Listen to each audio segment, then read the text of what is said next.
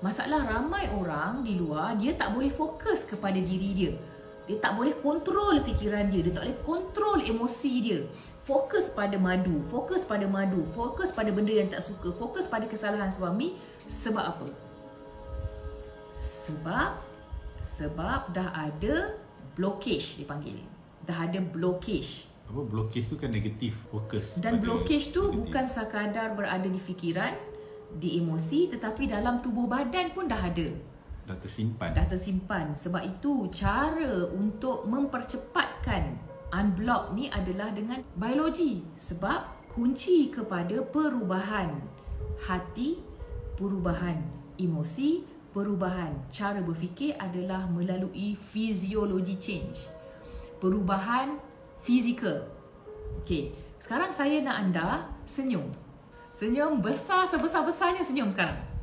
Okey, sekarang saya nak anda sedari apa yang anda rasa, emosi anda, fikiran anda rasa apa? Happy. See?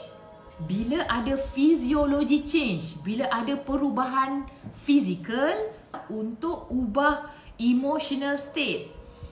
You punya negative thinking, perasaan yang negatif mudah bila ada physical perubahan fizikal.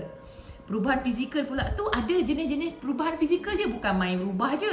Antaranya adalah senyum. Wanita yang tersenyum adalah wanita yang menarik. Senyuman yang berterusan, yang autentik dari hati, terlihat di mata, itu adalah magnet power, magnet super power seorang wanita. Ha, ramai orang dia tak sedar dia terlalu banyak negative thinking, emosi yang sangat negatif menyebabkan muka marah, berkerut. Ramai orang tak sedar. Ha, siapa suka nak berkawan dengan orang yang muka mendung je? So, semudah physiology change. So, bila anda dah bila anda dah faham tentang apa punca, apa yang perlu anda ubah, apa yang perlu anda buat, anda dah ubah anda punya state, dah rawat hati, dah start nak bina, nak jadi pencipta kebahagiaan dalam rumah tangga anda, tak kira lah anda isteri pertama ataupun anda isteri kedua.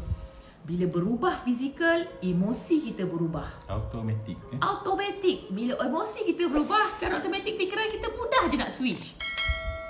Ramai orang tak nampak muka dia macam sibuk fokus kat suami sampai dia tak nampak pun muka dia jelek sebenarnya selama ni. Thank you.